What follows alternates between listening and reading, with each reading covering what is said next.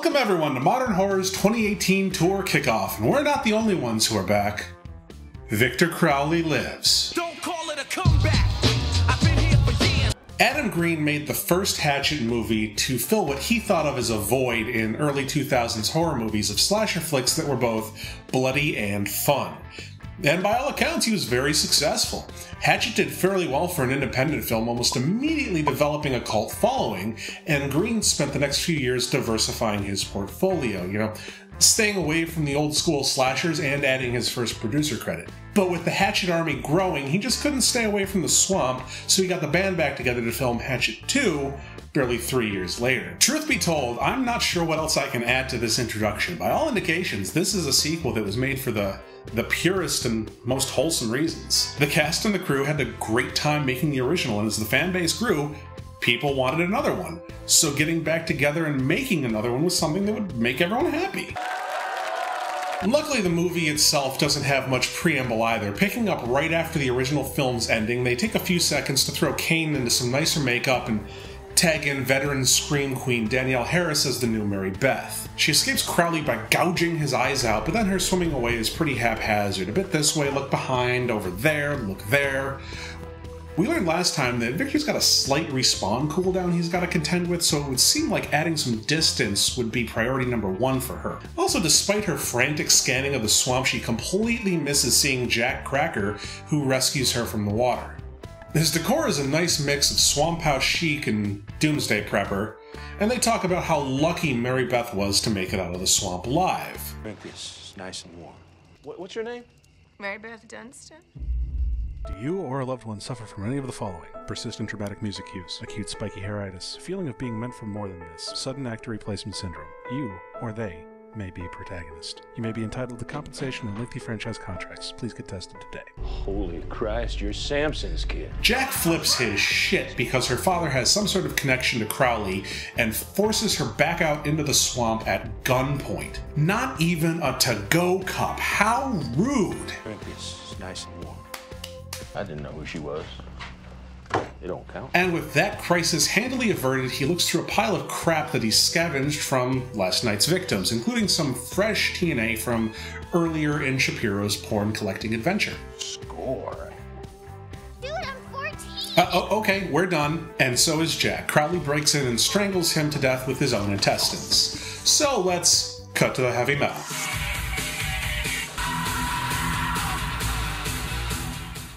After what must have been several hours of hiking, Mary Beth makes it back to New Orleans on, overweight and regretful Wednesday, which lends itself to far fewer boobs than Fat Tuesday, and at least that gives me a lot less to censor. She gets to Reverend Zombie's door, and he's still fabulous. Does he put that eye makeup on every day, or is he just left it on since yesterday without messing it up?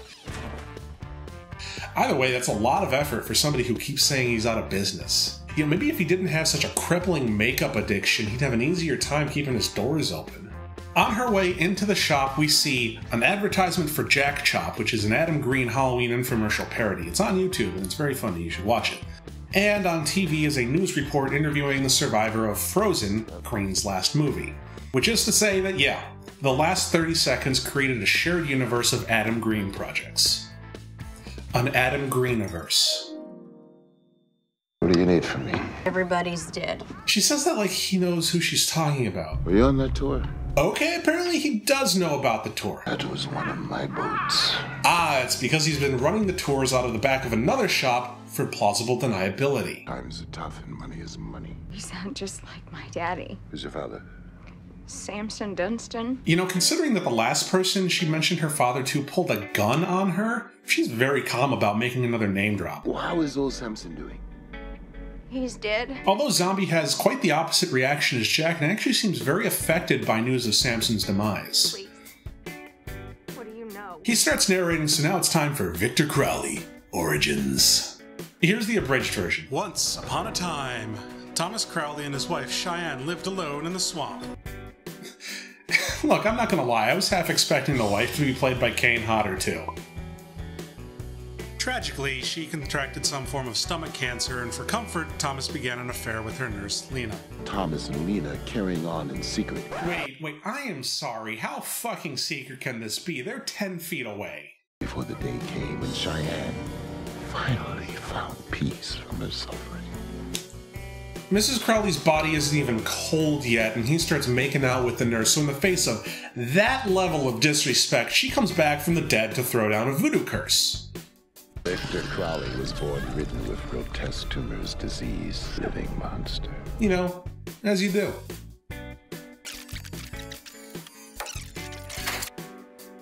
Sorry, we've seen this part already. Some quick flashes of Victor Crowley's greatest hits serve to get in some more cameos and keep the gore coming. Now, most of these guys are behind the scenes folks from other Adam Green projects or just friends, but standouts include Joe Lynch, the director of Knights of Badassdom, which is funny and you should also go watch, and Shawn Ashmore in another Frozen cast cameo.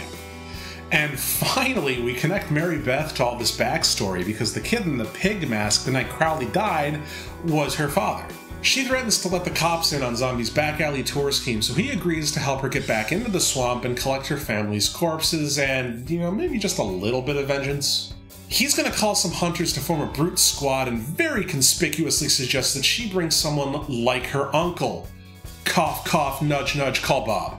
Or else he's calling the whole thing off. So if I bring my uncle back, then you will take us. That's what I said. Justin! Hey! Parry Shen returns to the series playing the twin brother of his character from the last movie, this time with really roughly 16% more beard. We're going on a little expedition. And with that button on the scene, we can cut to a minor shower tease from Mary Beth before introducing Uncle Bob, played by legendary writer director Tom Holland. You know, oddly, he's not too keen on going literal ghost hunting in the murder swamp and makes Mary Beth promise not to go off with Reverend Zombie. So, cue slightly comic smash cut to Mary Beth sitting in Reverend Zombie's voodoo shop as more horror luminaries wander in. Oh, monsieur. Welcome to the House of Voodoo. Parry Shen is greeting them all with another ludicrously fake accent until R.A. Mihailoff appears as Trent and calls him on it. Drop the phony accent, asshole. Chips Ahoy. Next up is AJ Bowen as Leighton. And then some minor asides to introduce our comic relief character Vernon and Leighton's ex Avery before some more drive by cameos. Steve Barton, Marcus Dunstan, Lloyd Kaufman, and Rick McCallum. Zombie arrives to much fanfare and some in universe scenery chewing. Now, he tries to keep grandstanding through Vernon's constant interruptions and eventually gets the point across. Victor Crowley. At which point, almost everybody decides that they don't want to hunt the fabled murder ninja and vacates the premises. Trent tries to leave with the crowd, but Zombie basically throws money at him until he decides to stick around. $1,000 cash, $500. Right now, up front, 501. Uncle Bob is positively radiant. I mean, he's radiating pure seething anger, but he is radiant nonetheless. Tom Holland can pull off some epic bitch face. With Uncle Bob in the fold, we round out the cannon fodder with two more hunters, Chad and Cletus. Who's Victor Crowley? You mean like a Jason Voorhees? Or I lived in this town called Glen Echo. Wait, I'm sorry, where's Chad from? Glen Echo. Okay, we need to unpack this. Glen Echo, Maryland is the setting of meta horror slasher Behind the Mask The Rise of Leslie Vernon. So Chad connects that movie to this shared universe. But beyond that, in Behind the Mask, the original famous slashers, you know, Freddy, Michael, Jason, are all real. So the Greeniverse is a world where the slasher flicks that inspired him actually happened. His creation, Victor Crowley, is a movie world contemporary of those famous killers. In sharp contrast to the happy go lucky wagon train music from the first movie's traveling sequence, the hunters drive boats into the swamp to a suitably intense orchestral theme. While Chad and Cletus bond over their stereotypically Jock and Hick names, over in the main boat, Vernon is singing this. Biscuits and chicken and gravy. For the biscuit is me. Is anyone else hungry? I mean, it's a terrible jingle, but biscuits sell themselves. Zombie tells Mary Beth that since she described hurting Crowley, that maybe the trick to killing the ghost is to hurt him a lot, with many, many bullets. Kind of undercutting his earlier point about Crowley being a repeater who just comes back every night.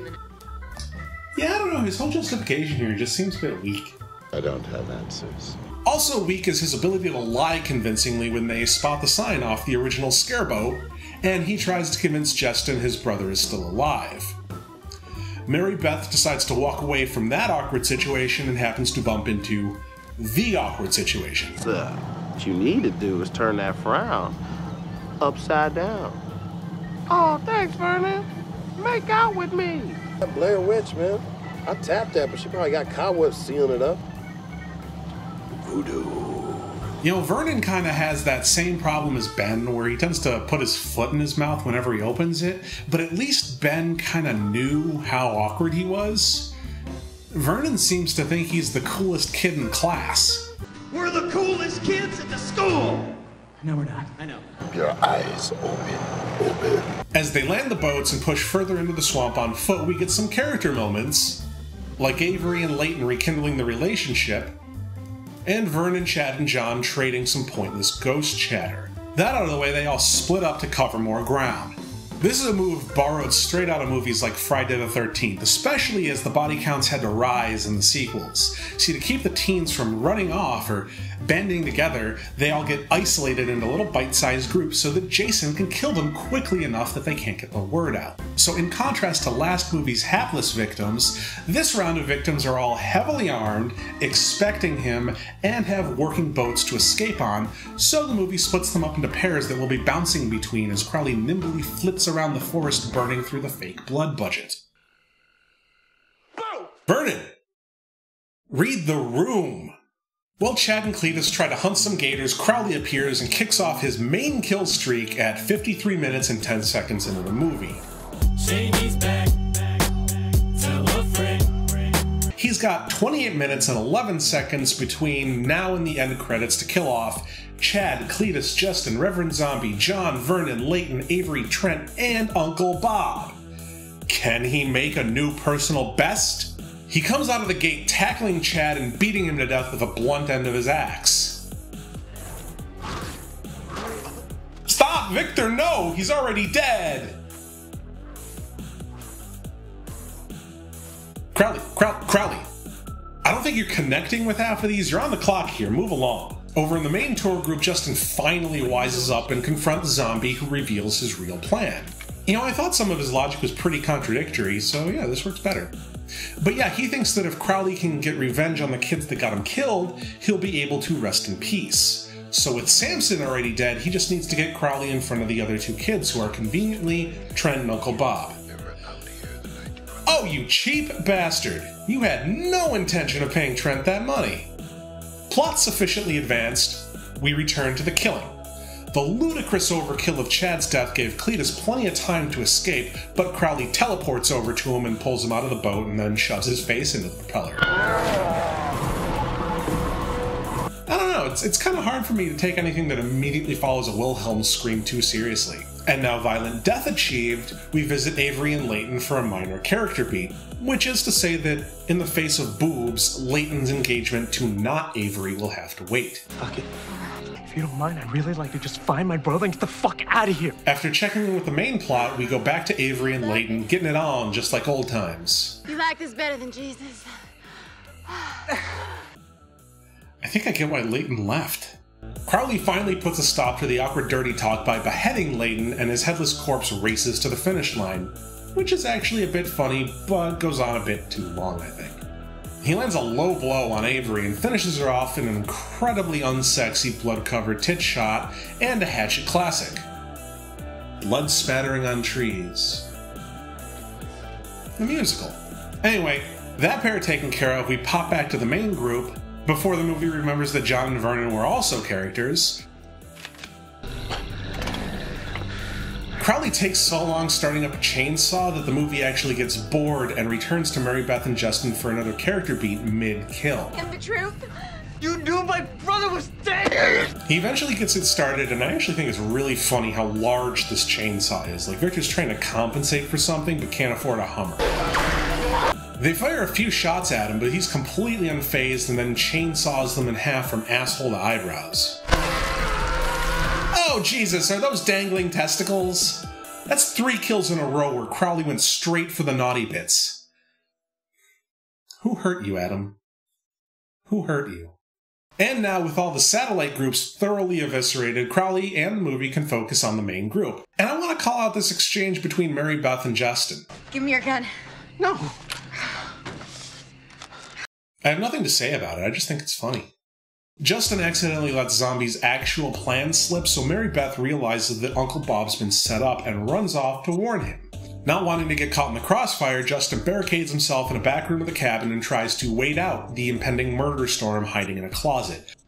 But that's exactly what a genius tactician like Victor Crowley would expect, so he's already in the closet with Justin.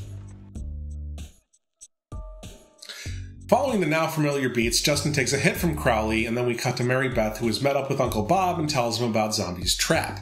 Then, quickly, back to the murder at hand. Victor calls out one of the greatest hits from last movie, the gas powered belt sander. And while I still haven't found anyone selling one of these, I did find a company selling gas powered grinding wheels for railroad maintenance. So yeah, it's totally plausible. I'm, I'm, I'm sorry for doubting these. Mr. Crowley. He does Justin in by trying out a new sort of lobotomy, going in through the back of the skull, through the entire brain, and then quickly moves on to the next kill. And I understand why he's excited to get going, because on the chopping block now is Trent. This is a fight between horror's ultimate brawlers. This is Leatherface versus Jason. And it is an amazingly violent beatdown with no stunt people, since Kane and RA are stunt people. So they just throw each other around the set full force. Zombie wants to make sure that he and Mary Beth don't get in the way while Victor finishes off Trent and Uncle Bob, so he drags her away, leaving Bob injured and stuck in the cabin. Crowley finishes Trent with this really cool curb stomp style move. Oh, yeah. Oh, that's the good stuff. Adam Green is bringing his A game to the finale. Uncle Bob eats it off screen, but gets nicely excessive blood spray across the windows. And the zombie declares that Victor Crowley can now rest in peace. That wasn't my real uncle.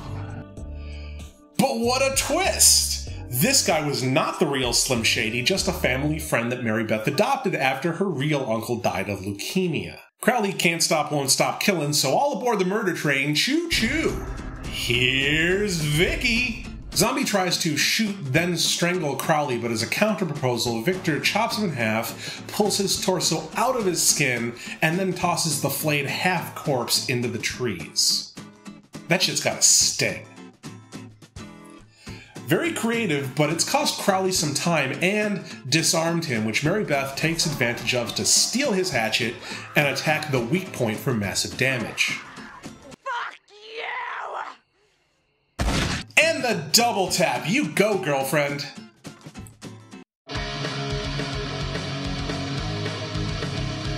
Oddly, Hatchet 2 seems to me like it's both a standalone feature and the middle child of a trilogy. It includes enough of Victor Crowley's original backstory that you don't really need to have seen the first movie, but it also spends so much time building additional mythology that it could come off as a continuation of the first movie, setting up elements for a finale. Though, if you are familiar with the original Hatchet, they reward that because a lot of the new mythology comes off as twists of what we heard during our first trip to the swamp, which keeps things interesting. But unfortunately, by spending so much time on backstory and building mythology, the characterization suffers, and the increased body count just makes that problem worse. That's not to say that the original had Oscar worthy character studies, but at least they all had established defining character traits and enough personality that you could root for them. The hunters here are just cannon fodder. Hell, I don't think Rick McCallum even had lines. Beyond that, the kills seem more exploitative and or phoned in, the really fun ones only being saved for the end. In Hatchet, the overkill was from how elaborate and fanciful all the kills were, but Chad's kill was so dirt simple that it felt like a serious take on the idea that Crowley is a rage filled murder machine, uncontrollably lashing out. There's grounds for that interpretation because, for all the supernatural cursing, Victor Crowley was a hulking powerhouse of a man with the mind of a child who died scared and confused. His ghost returning to the swamp every night, wailing for his father emotionally stuck in the middle of his untimely demise. It's it's almost tragic. but taking Crowley seriously is out of place in the same movie as Biscuits and Chicken and Gravy, the musical. Biscuits and chicken and gravy. And then three kills in a row going straight for the crotch, plus turning Leighton's death into a sex joke and showing off Avery's boobs during her kill just seemed needlessly sexual for Crowley and more in line with a juvenile version of Rob Zombie than the tone of the first Hatchet. But Green does bring it back after that with some very strong and interesting kills going into the finale. All that said, this isn't a bad movie at all. Story and effects are where it really excels. The twists in the backstory play very well with established material, and the experiments with the more supernatural voodoo horror that I thought may have been missing from the first movie really pay off the extended flashbacks here and give the film some nice variety. And even if a few kills weren't great or rubbed me the wrong way, the makeup looks awesome, and taken as a whole, the movie's gore is very fitting for the sort of one upsmanship that a sequel should engage in. Its biggest problem really is just not being quite as fun as the first movie. Anyway, thank you again for checking out some modern horror. I hope you enjoyed watching, and if you'd like to be notified of future videos, please make sure to like and subscribe. And as always, comments are always appreciated. Cheers!